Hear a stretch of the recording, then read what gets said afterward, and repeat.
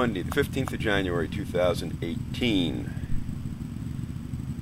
Report from the town, fair to good conditions, up to an 8 inch base.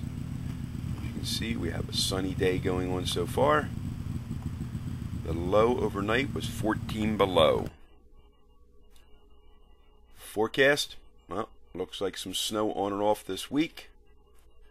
Long range, looks like the beginning of next week we might get ugly again. And here's a time lapse for up at Stillwater. I don't have any of my normal camera guys in, that's why I haven't been sending the camera out because I don't have anybody that I usually send it out with. The high was 17 today. The time lapses are fun when it's a day like this. You can see the, the sun moving and the shadows and stuff like that. There was quite a few people in town because of the holiday. And as I said before, I think a lot of people are just starting to take advantage of the weekday riding because you never know what's going to happen anymore with the way the spikes are in the weather. But we did pull off the weekend, that's for sure. You would have never thought it. With the liquid precipitation we had Thursday night into Friday and with the way things looked Friday night, you would have never believed you'd be riding by 9 o'clock Saturday morning. That's the great thing about up here in the Adirondacks.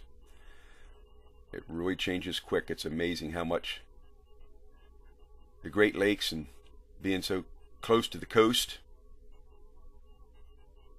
compared to like the midsection of the country, our weather can change.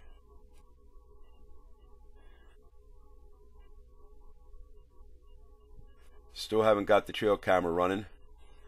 As I said, I was going to go out to it, but since the trail one is flooded, the only way I can get to it is the long way around, and right now I don't have anybody to help me with the office, so I have to, you know, during the daytime, I have Kathy watches at night, but during the day she has other things she has going on.